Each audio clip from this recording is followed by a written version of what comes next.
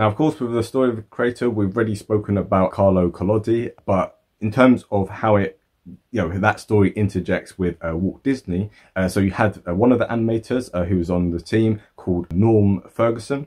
He presents the story to Walt Disney, and Walt Disney he's so infused by this he decides that the next film they were going to do was going to be Bambi. That ends up being shelved until 1942 because they're like, no, we want to you know this is a really good story. This will sell really well. So work starts on this, but first of all, obviously, like we said, it's the opposite of uh, Snow White. So with Snow White, this is a very short story, you turn it into a big film. This, the novel is very, very long. And so to condense it now into a children's film means that some things are going to have to be left out. So originally the person that they get to do the script for this is Bianca Majolie. So she ends up working on it. However, this is a problem that I found as a script writer as well, right? Is when you're trying to adapt a full length book into a script, you have problems in the sense of you know, basically, if you're very true to the original, you end up having the problem where the film would end up being far too long. If, however, you end up cutting things out, then some of the integrity of the original story ends up being lost, right? And that ends up becoming very, very separate from what the original was. And so the original script that Bianca and Majolie did, it just stuck too closely to the actual original. So what Walt Disney decided instead was he decided that Pinocchio was going to be uh, a lot more of a kind of like likable character rather than the kind of like you know mischievous kind of unlikable character that you have in the original. And also they decided that Jiminy Cricket was going to be much more first of all much more human like and also was going to be much bigger of a character yeah uh, than, than he was in the original. Because in the original there's a cricket and Pinocchio ends up squishing him and then occasionally you know the ghost of the cricket comes back to kind of like torment Pinocchio However, they decided for him not to get squished and for him to kind of stay and be the, uh, the conscience of the boy.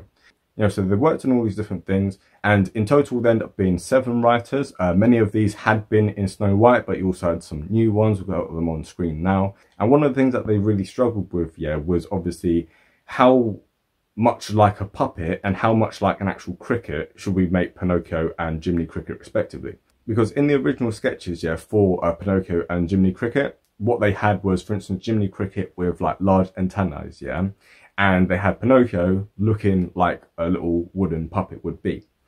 However, what they decided afterwards was that actually, instead of looking at like the what the real life things would be and turning them to look more human, what they instead decided to do was to do the opposite. So make a cute looking boy and make like a kind of a, a human like more like a, like a little man and make them less human, right? So rather than like having like a wooden puppet and making it look like a boy, instead have a boy and then make him look a little bit more wooden. And instead of having like a bug, instead have a human and make him a little bit more bug-like. That way they're much more relatable to, uh, to, to the audience and that way that the audience is able to kind of enjoy them much more and feel a connection with them than they otherwise would if it was just a wooden doll and a little bug. Now, in terms of the story of the studio, uh, there was a lot of different things with this. So obviously, because of the success of Snow White, the Disney Corporation ended up having a lot bigger of a budget uh, than uh, they had before. So this meant that they were able to splash out a little bit on the different actors that they had. So what Walt Disney decided instead was that instead of having an adult doing the voice of Pinocchio, what they wanted instead was to have a child actor. And so who they decided on was Dickie Jones. So Dickie Jones at this age was just 11. Uh, he would later go on to be in like loads of different films and stuff. Uh, but at the time, he had uh, done a really good performance in uh, Mr. Smith Goes to Washington. So we're going to cover that at a different point uh, down the line. It's really, really classic film. If you haven't seen it, definitely go and check it out. So he's uh, one of the little uh, page boys within uh, the Senate building there. So definitely go check that out. Um, but anyway, so they had him as the voice of Pinocchio. And for Jiminy Cricket, they decided that they were going to have Ukulele the Ike. So this was uh, Cliff Edwards, so he was like a famous singer at the time. And actually many of the songs which are sung yeah, were uh, done by Cliff Edwards, yes. So again, because they've got a bigger budget, they're able to splash out a bit more. And actually, I just want to say this, yeah, uh, in the last video, I made a bit of a mistake here when I said that the, um, so when I was talking about uh, Bourne Co uh, music publishers, I said that they still owned the right just to uh, uh, uh, the song from Snow White. Actually that's not entirely true because they also owned the rights to the music in Pinocchio. So when you know, for instance, the, the song "Wish Upon a Star," that is still owned by uh, Bourne Co. Um, and it's quite interesting actually because you know when you wish upon a star, that is still one of the theme songs for Disney. So they used that song quite a lot. Yeah, when you think about Disney and think of the music, yeah, that's Wish Upon a Star, isn't it? But they still don't technically own the rights to that music, which is again quite interesting. And also as well, in terms of the casting, yeah, this is something which kind of really blew my mind. So Gideon the cat, um, he is mute throughout the film. And the only time you ever hear anything from him is two hiccups.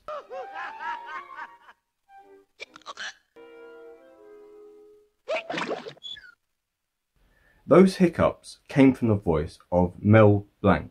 Now, who is Mel Blanc? Mel Blanc, for those who have seen Looney Tunes, is all the voices of Looney Tunes. So Bugs Bunny, Daffy Duck, etc. And also, anyone who's seen the Flintstones, he's the voice of Barney Gumble. So you have this dude here, and he originally was going to be the voice of Gideon the Cat.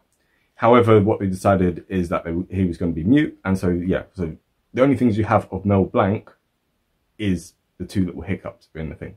So obviously Looney Tunes and uh, Flintstones came out well after this film, so no one knew just how like great Mel Blanc would be.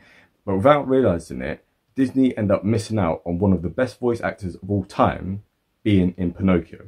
And all we get out of him is just two hiccups. It's like, you can't believe it. This, this is why we look at the story of the studio, because all the kind of background things of, you know, what if what would have happened if that actor had been chosen or that actor had had more lines or whatever it is. It's just, it's little things like that are just absolutely fascinating to me. And finally, as well, when we talk about the story of the studio, there's also a thing where, you know, in 1936, there was going to be uh, a film called The Adventures of Pinocchio. And this film was going to be Italian. And this actually, if it had come out, would have beaten Snow White as being the first fully full-length uh, cel animated film. However, for whatever reason, I can't remember the exact reason, I think they ran out of money or something like that, it never actually got released. And so to this day, you still can't see anything other than just a few like little uh, stills that they have from the film. But this would have come out in 1936, like we said, and yeah, this would have blown Snow White out the water, yeah, in terms of being the first feature-length uh, cel animated film. So again, really interesting kind of thing to see that like maybe this other guy, this Italian dude, maybe they would have been better than kind of like than Disney if this had happened a different way. But again, it's just fascinating like seeing like the film industry and stuff and so many what ifs and, and all that kind of stuff.